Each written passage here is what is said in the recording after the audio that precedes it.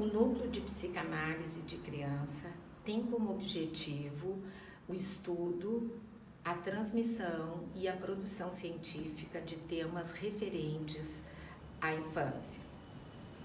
Esses estudos são feitos a partir dos aportes teóricos de Silvia Bleichmann, uma autora argentina que toma a infância como tempos de constituição psíquica, tempos estes reais, onde se dão os grandes movimentos pulsionais que definirão o destino do sujeito.